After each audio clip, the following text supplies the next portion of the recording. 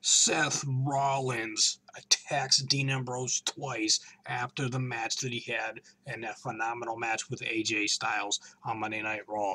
Uh, it was pretty intense and crazy. The match with AJ Styles and Dean Ambrose was awesome, phenomenal match, and uh, it was all kinds of crazy things happen at the end. The club coming down, John Cena coming down, AJ Styles getting hit with the dirty deeds, and then uh, you know losing the match to Dean. The, the club jumps John Cena.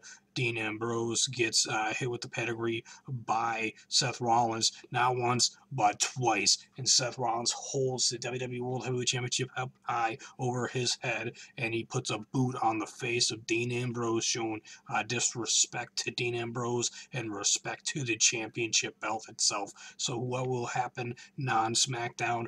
Uh, you know, what will happen on Monday Night Raw? Will Dean get revenge on Seth Rollins right away on uh, on SmackDown or on Raw next week. What's going to happen without Roman Reigns being around for a month long? I think, bro, I think it should be a one-on-one match, or they should, um, you know, make a surprise uh, mystery uh, swap in for Roman Reigns because I don't think Roman, you know, you get suspended. He shouldn't have a world title match. But hey, that's my opinion. Whatever, you know, Big Dog Jimmy just told me to shut the hell up. Roman should be in the match, and I'm like, what? What are you talking about, man? Like that's not cool. Don't be talking to me like that. Be cool, man.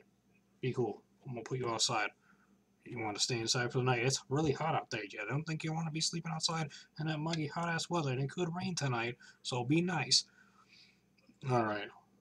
Gonna be cool. All right. So, you know, let me know your thoughts and opinions down below. Hit that like button to support the channel, to, you know, show people that you like the video. Hit that like button and uh, hit that subscribe button if you haven't already subscribed to the channel and you like the reviews, the reactions, predictions, commentary, reenactments, and much more here at Crazy Joe's Galaxy. Thanks for watching.